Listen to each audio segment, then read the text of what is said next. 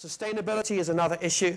And I'm talking about water, yes. I'm talking about global warming, yes. I'm talking about just about everything associated with this word. Whatever your views are about the science, remember, the future is not about the science of global warming. It's about Emotion. emotion. The science of global warming is a guess about what may happen to our world in 2050. And by the way, we will never know. Because we are already taking action, by the time we get to 2050, we will probably have changed a little bit what the carbon dioxide level would otherwise have been. So we will never know what would have happened in 2050 if the level had risen to that point. And historians will go on debating that with scientists for a thousand years more. I am convinced that global warming is related to human activity in part, and the carbon dioxide story is very important in it, vital. But even if I'm wrong, and there's debate about it, even if this graph of carbon dioxide and temperature going back over 450,000 years, even if it is wrong, we know the future. We know that there is already passion about this issue. Put your hands up if you think that the amount of emotion attached to global warming will go on increasing over the next five years around the world. Put your hands up. Three years ago, you could hardly find a world leader talking about this issue. Now you can hardly find one that doesn't talk about it every week. And this is an example of emotion changing. The science has changed a little, but not very much. It's emotion attached to science which is driving global warming. And you can be sure that hundreds, hundreds of millions of dollars, of euros will be spent on innovation in this area. Global warming represents the biggest new business opportunities of this millennium so far. We're talking about potentially $40 trillion of innovation that will be sold in new products and services by companies over the next 35 years. And with it comes other issues as well, whether it's a threat of uh, rising water in Bangladesh or other things. And you hear a lot about companies becoming carbon neutral. In five years' time, I think it will be difficult to hold an event like this without making the entire event carbon neutral as a matter of, uh, not a matter of choice, which will mean that all the energy that you use, including the power in this projector, will be, will be, will be um, calculated, and then an amount will be donated to um, something like the World Wildlife Fund so that it can be invested in projects, probably mainly in emerging countries, to make viable uh, ways of saving carbon elsewhere that are not quite viable at the moment. So it, you, it's, a, it's, a, project which would be fine with a 20% extra subsidy. Then suddenly it can work. Suddenly a thousand more households stop burning oil or gas.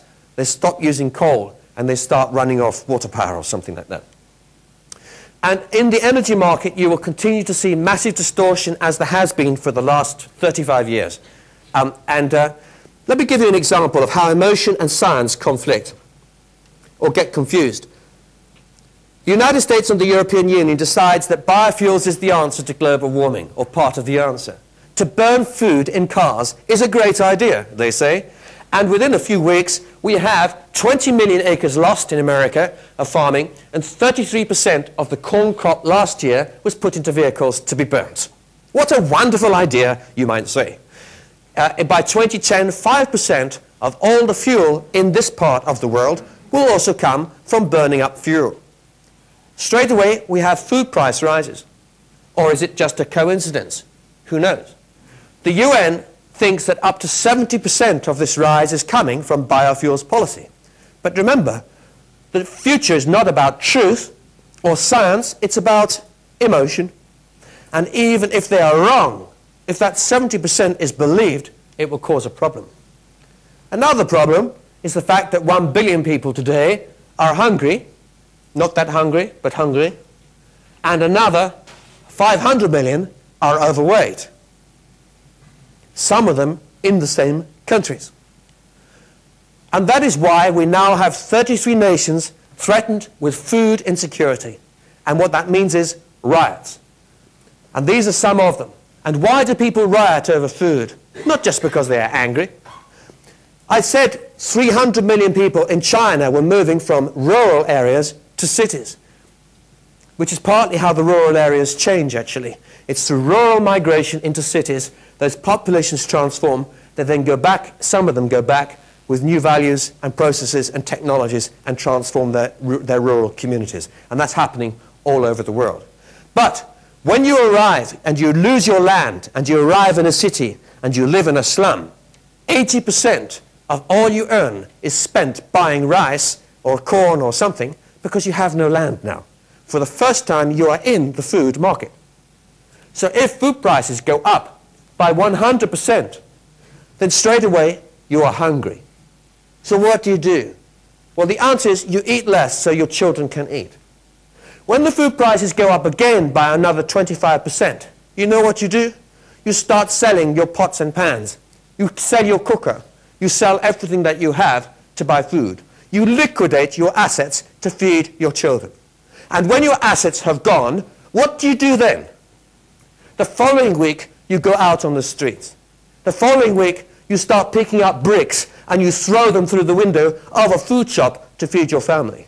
The following week, you turn a vehicle over, you take petrol and you light it and you burn it. The following week, you riot on the streets, my friends, and that is why we have seen these things happen all over the world. It's not just a political protest. These are issues of survival. So does biofuel policy matter? Oh, yes, it does. When I was talking to the Pentagon about ways to prevent future conflict, does it matter that you have a policy that takes ethanol out of, uh, uh, uh, produces ethanol from sugar, or for the European Union the same? It may do. Even if the science is wrong, even if the UN are wrong, that the food prices are not related to this at all. But if the public perception is that, that's what will happen. So, and look at this statement here. The UN, this is the, this is the UN's own statement. The United States and the European Union have taken a criminal path by contributing to explosive rise in global food prices through using food crops to produce biofuels. Hmm. Emotion. So what's going to happen to biofuel policy? Dead. What's going to happen to turning food into fuel? It's finished. What's going to happen in five years' time if you've invested a whole load of money this year to build a huge factory for it? You're out of business. Will we have biofuels? Of course we will. They'll be made from things like the cooking oil that was used in this hotel. Yes, put it into a diesel engine to drive a bus. Great. Uh, use uh, some of the crop which you cannot eat. Yes. But don't convert food into fuel. So I'm just giving it as an example of how emotion can change in less than 24 months and how government policy can be transformed. And you find one policy replaced by another when single issues rule and so that is why the world is becoming so radical. Okay, um, I'll skip these other things to do with. We'll see, we're going to see amazing technologies to rebalance our energy, uh, whether it's geothermal, uh, street lighting, which itself will reduce 3% of every country's electricity bill in the West, um, and so on.